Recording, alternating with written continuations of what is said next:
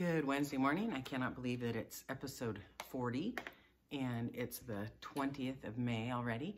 Thank you so much for tuning in. I am Miss Kivley, if you don't know, and we will continue. We are going to start chapter 16 today, the Oompa Loompas. Oh boy, Oompa Loompas, everyone said it once. Oompa Loompas? Imported direct from Loompaland, said Mr. Wonka proudly. There's no such place, said Mrs. Salt. Excuse me, dear lady, but Mr. Wonka, cried Mrs. Salt, I am a teacher of geography. Well, then you know all about it, said Mr. Wonka. And oh, what a terrible country it is. Nothing but thick jungles infested with the most dangerous beasts in all the world. Hornswogglers and snozzwangers and those terrible wicked wing doodles. But Whangdoodle would eat 10 Oompa Loompas just for breakfast and come galloping back for a second helping. When I went out there, I found out the little Oompa Loompas living in tree houses. They had to live in tree houses just to escape from the Whangdoodles and the Hornswogglers and the Snozzwangers. And they were practically starving to death. They were living on green caterpillars, and the caterpillars tasted revolting. And the Oompa Loompas spent every moment of their days climbing through the treetops looking for other things to mash up with the caterpillars to make them taste a little better. Red beetles, for instance. And eucalyptus leaves, and the bark of the bong bong tree. All of them beastly, but not so quite as beastly as the caterpillars. Poor little Oompa Loompas. The one food they longed for more than anything, uh, anything else was the cocoa bean. But they couldn't get it, and Oompa Loompa was lucky if they found three or four beans in a year, but oh, how they craved them. They used to dream about the cocoa bean all night and talk about them all day. You had only to mention the word cocoa to an Oompa Loompa and he would start dribbling at the mouth. The cocoa bean, hmm, Mr. Wonka continued, which grows on the cocoa tree, which, the cacao tree, excuse me, which happens to be the thing from which all chocolate is made. You cannot make chocolate without the, the cacao tree. The bean is chocolate.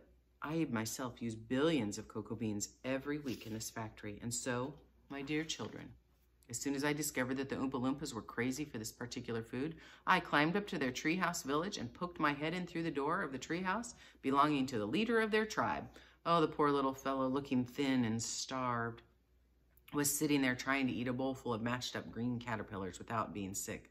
Look here, I said, speaking not English, of course, but Oompa Loompa-ish. Look here, if you and all your people will come back to my country and live in my factory, I'll give you all the chocolate you want. I've got mountains and mountains of it in my storehouses. You can have cocoa beans for breakfast and every meal. You can gorge yourselves on them. I'll even pay your wages in the cocoa beans if you want. You really mean it? Asked the Oompa Loompas leader, leaping up from his chair. So here he is going to the treehouse. Oompa Loompa, or Mr. Wonka has the top hat. Of course I mean it, I said. And you can have chocolate all day long. Chocolate tastes even better than cocoa beans because it's got milk and sugar added. The little man gave a great whoop of joy and threw his bowl of mashed caterpillars right out the treehouse window. It's a deal, he cried. Come on, let's go. So I shipped them all over here, every man, woman, and child in the Oompa Loompa tribe. It was easy. I smuggled them over in large packing cases with holes in them, and they all got here safely. They are wonderful workers, and they all speak English now. They love dancing and music. They're always making up songs. I expect you will hear a good deal of singing today. Sorry, from time to time. I must warn you, though, that there are rather, they are rather mischievous. They tell jokes. They still wear the same kind of clothes they wore in the jungle. They insist upon that. The men, as you can see for yourselves across the river, wear only deerskins, and the women wear leaves, and the children wear nothing at all. The women use fresh leaves every day. Daddy, shouted Veruca Salt, the girl who got everything she wanted. Daddy, I want an Oompa Loompa. I want you to get me an Oompa Loompa. I want an Oompa Loompa right away. I want to take it home with me, Daddy. Go on, Daddy, get me an Oompa Loompa. Ah, Now, my pet, said her father, we mustn't interrupt Mr. Wonka. But I want an Oompa Loompa, she screamed. All right, Veruca, all right. But I can't get one for this second. Please be patient. I'll see that you get one before the day is out. Augustus, shouted Mrs. Gloop. Augustus, sweetheart, I don't think you'd better do that. Augustus Gloop, as you might have guessed, had quietly sneaked down to the edge of the river. He was now kneeling on the riverbank, scooping up hot melted chocolate into his mouth as fast as he could. Hmm. If you've seen the movie, you know what's coming up, but I love how it's written here. Chapter 17, Augustus Gloop goes up the pipe. When Mr. Wonka turned around and saw what Augustus was doing, he cried out, Oh, no, please, Augustus, please, I beg you not to do that. My chocolate must be untouched by human hands. Augustus, called out Mrs. Gloop, didn't you hear that the man said, come away from that river at once? Oh, this stuff is terrific, said Augustus. Not the slightest notice of his mother or Mr. Wonka. Oh, boy, I need a bucket to drink it properly. Augustus, cried Mr. Wonka, hopping up and down and wagging his stick in the air, you must come away. You're dirtying my chocolate. Augustus, cried Mrs. Gloop, Augustus. But Augustus was deaf to everything except the call of his enormous stomach. He was now lying full length on the ground with his head far out over the river, lapping it up like a dog. Augustus, Mrs. Gloop shouted, you'll be getting that nasty cold of yours to a million people all over the country. That makes me ugh, every time. Be careful, Augustus, shouted Mr. Gloop. You're leading out too far. Mr. Gloop was absolutely right, for suddenly there was a shriek, ee, then a splash, whoosh, and into the river went Augustus Gloop. And in one second he had disappeared under the brown surface. Save him, screamed Mrs. Gloop, going white in the face and waving her umbrella about. He'll drown. He can't swim a yard. Save him, save him. Good heavens, said Mr. Gloop. I'm not diving in there. I've got my best suit on. Augustus Gloop's face came up again to the surface, painted brown with chocolate. Help, help, help, he cried. Fish me out. Don't just stand there, Mrs. Gloop screamed at Mr. Gloop. Do something. I am doing something, said Mr. Gloop, who was now taking off his jacket and getting ready to dive in the chocolate. But while he was doing this, the wretched boy was being sucked closer and closer to the mouth of the one of the great pipes that was dangling down to the river. Then all at once, a powerful suction took hold of him completely, and he was pulled under the surface and then into the mouth of the pipe. The crowd on the riverbank waited breathlessly to see where he would come out. There he goes, someone shouted, pointing upwards. And sure enough, because the pipe was made of glass, Augustus Gloop could be clearly seen shooting up inside, headfirst, like a torpedo. Help, murder, please, said Mrs. Gloop. Augustus, come back at once. What are you doing? Where are you going? It's a wonder to me, said Mr. Gloop, how that pipe is big enough for him to go through. It isn't big enough, said Charlie Bucket. Oh dear, look. He's slowing down. So he is, said Grandpa Joe. He's gonna stick, said Charlie. By golly, he has stuck, said Charlie again. It's his stomach that's done it, Mr. Gloop said. He blocked the whole pipe, said Grandpa Joe. Smash the pipe, yelled Mrs. Gloop, still waving her umbrella. Augustus, come out here at once. The watchers below could see the chocolate swishing around the boy in the pipe, and they could see the buildup behind him, a solid mass pushing against the blockage.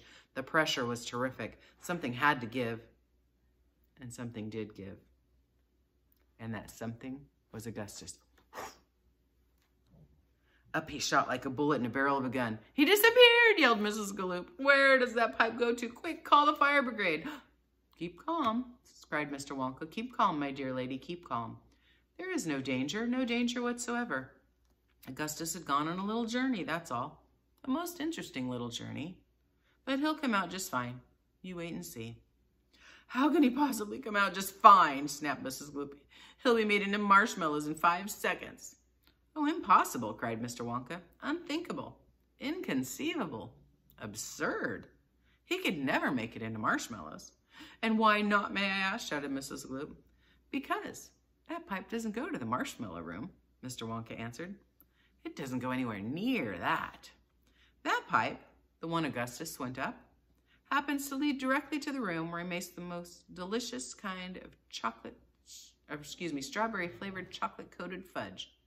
Then it'll be made into strawberry flavored chocolate coated fudge, screamed Mrs. Gloop. My poor Augustus. They'll be selling it by the pound all over the country tomorrow morning. Quite right, said Mr. Gloop. I know I'm right, said Mrs. Gloop. It's beyond a joke. Mr. Wonka doesn't seem to think so, cried Mrs. Gloop. Just look at him. He's laughing his head off. How dare you laugh when a, my boy's just gone up the pipe? You monster, she shrieked, pointing her umbrella at Mr. Wonka. You think this is a joke, don't you? You think that sucking my boy up into your fudge room like that is just one great big colossal joke. He'll be perfectly safe, said Mr. Wonka, giggling slightly.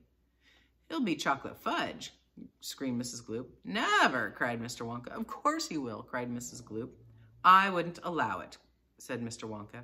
And why not? cried shrieked Mrs. Gloop. Because he would taste horrible. Mr. Wonka, said Mr. Wonka, just imagine, Augustus flavored chocolate coated gloop. Ugh, no one would buy it. They most certainly would, cried Mr. Gloop indignantly. I don't want to think about it, shrieked Mrs. Gloop. Nor do I, said Mr. Wonka. And I promise you, madame, that your darling boy is perfectly safe. If he is perfectly safe, then where is he? snapped Mrs. Gloop. Lead him to me at this instant. Mr. Wonka turned around and clicked his fingers sharply. Three times. Immediately, an Oompa Loompa appeared as if from nowhere and stood beside him.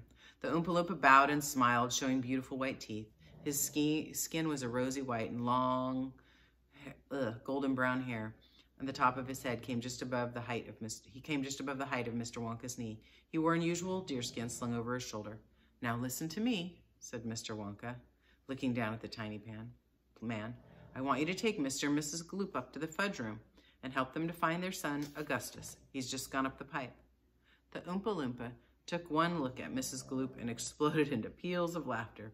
Oh, do be quiet, Mr. Wonka said. Control yourself. Pull yourself together. Mrs. Gloop does not think this is funny at all. You can say that again, said Mrs. Gloop. Go straight to the fudge room, Mr. Wonka said to the Oompa Loompa. And when you get there, take a long stick and start poking inside the big chocolate mixing barrel. I'm almost certain you'll find him in there. But you better look sharp, and you'll have to hurry. If you leave him in the chocolate mixing barrel too long, he's liable to get poured in the fudge boiler, and that would really be a disaster now, wouldn't it? My fudge would become quite unedible.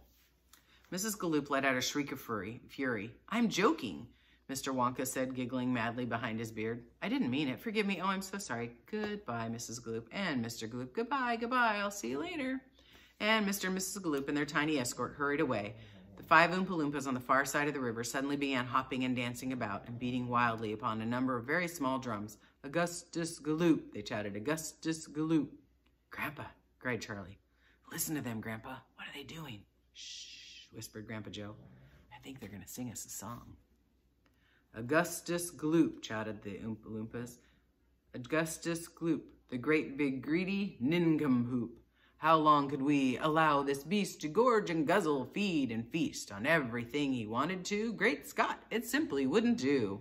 However long this pig might live, we're positive he'd never give even the smallest bit of fun or happiness to anyone. So what do we do in cases as such as this? We use a gentle touch and carefully we take the brat and turn him into something that will give us all, or give us great pleasure to us all, a doll, for instance, or a ball, or marbles, or a rocking horse. But this revolting boy, of course, was so utter, uh, so utterly vile, so greedy, so foul, so infantile.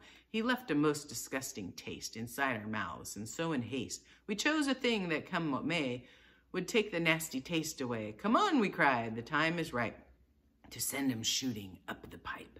He has to go, it has to be, and very soon he's going to see inside the room which he has gone. Some funny things are going on. But don't your children be alarmed. Augustus Gloop will not be harmed, although, of course, we must admit he will be altered quite a bit. He'll be quite changed from what he's been, and when he goes through the fudge machine, slowly the wheels go round and round, the cogs begin to grind and pound, the hundred knives to slice, slice, slice, and add some sugar, cream, and spice. We boil him for a minute more until we're absolutely sure that all the greed and all the gall is boiled away once and for all. Then he comes out, and by now, by grace, a miracle has taken place. This boy who was only just before was loathed by men from shore to shore. This greedy brute, this Louse's-ear, is loved by people everywhere. For who could hate or bear a grudge against a luscious bit of fudge? I told you they love singing, cried Mr. Wonka. Aren't they delightful? Aren't they charming? But you mustn't believe a word they said. It's all nonsense, every bit of it. Are the Oompa Loompas really joking, Grandpa? asked Charlie. Of course they're joking, answered Grandpa, Grandpa Joe. They must be joking. At least, I hope they're joking. Don't you? And that is the end of chapter 13. Perfect timing. Anyway, hang in there. Thanks for tuning in, and I will see you guys tomorrow. Can't believe it's already going to be Thursday. Take care, and we love you. Be safe. Bye.